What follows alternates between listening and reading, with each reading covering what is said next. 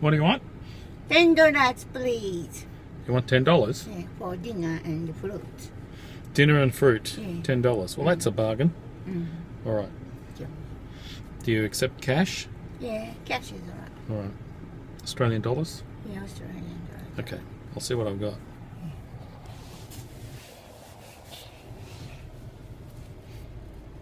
Looking in my wallet now. Mhm. Do you have ten dollars? Oh, wait a minute. I can give you. I can give you two fives. two five. I'll give you two fives with pictures of the Queen on them. Okay. Look, I there's don't care about Queen. our head of state. Queen. I don't care about the Queen's picture. You don't care about the Queen's picture? I prefer uh, not Queen. Charles. Who is, Uh, Henry. You want Henry? Yeah. Henry? You mean William? William. William's going to be Mm. our head of state. Harry. Why do they call him Harry when his name's Henry? I don't understand that. Harry. Harry's short for Henry? Yeah. Henry is more elegant. Henry's more elegant, yeah. So why do they call him Harry? Harry's is uh, uh, ordinary people. Yeah. Yeah. It's ridiculous. Harry is short for Harold, not, Harold. not Henry. Yeah. Henry and Harry are the same length. Hmm. I mean, there was Henry the Eighth, not Harry the Eighth. Mm-hmm. I don't care about Henry and Harold or Harris.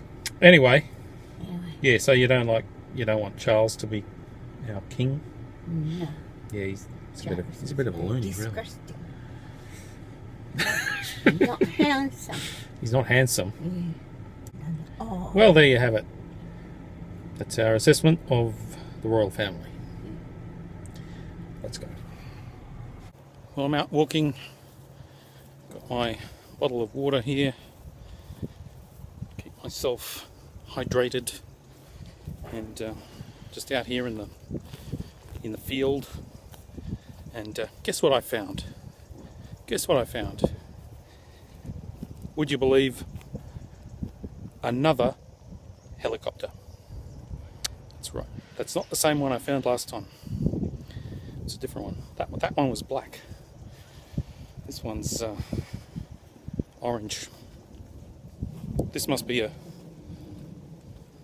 a common landing area for helicopters. See, there you have it. it. Doesn't look as sinister as the black one that I found before. Just had a look at the logo on there, and it's the Rural Fire Service. So it's a, I guess, a helicopter that they use to uh, watch fires or search for fires, or maybe to transport people in and out of fires.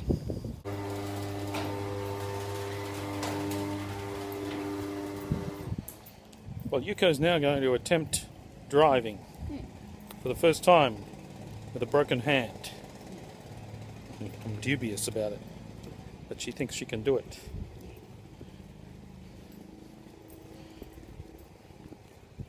There's the car. The battery's okay now. Fully charged. We'll just drive down the road a little way and back. See how it goes. The worst that can happen is we'll go over the cliff. I'm not scared. you're scared? No, I'm not scared.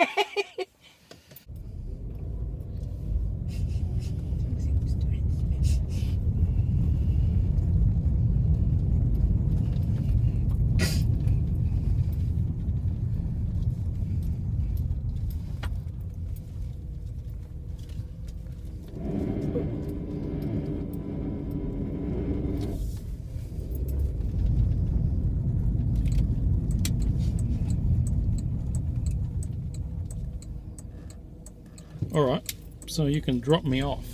What? No. Where would She can drop me off. Just drop me here somewhere, and then you can go. Uh-huh.